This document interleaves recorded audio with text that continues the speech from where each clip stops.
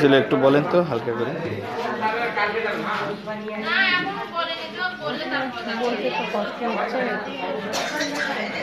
আমরা দশটার সময় আমার হাজব্যান্ড আমি, আমার বাচ্চা, আমার বড় আপা, আমার একটা ভাগ্নি, নিচে বসেছিলাম। ওরা আসে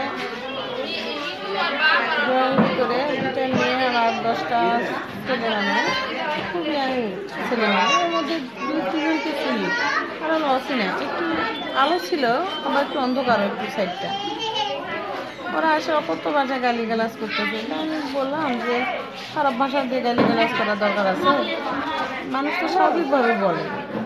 বলার সঙ্গে সঙ্গে আমার একেবারে অন্যটা সহ আমার এই সুইটারটা ধরে টাইনে নিয়ে যাচ্ছে।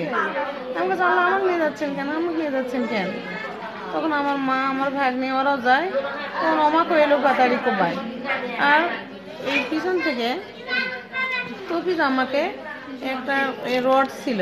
রড তো নয়, ওই যে খুম্বাগুলা খুম্বাগুলা ছিল একই যে সিমেন্টের, যেটা দিয়ে সীমানা প্যাঁচে দেওয়া হয়।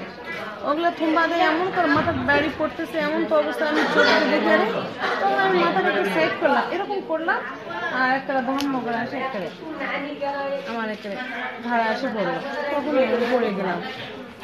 তারপর আর কিছু বলতে পারি না। আমার মাকেও মারছে এবং আমার ভাগ্নিক মারছে, সবাইকে মারছে। আমরা তখন অপ্রস্তুত অবস্থায় ছিলাম। আমরা বসে কথা বলতেছিলাম।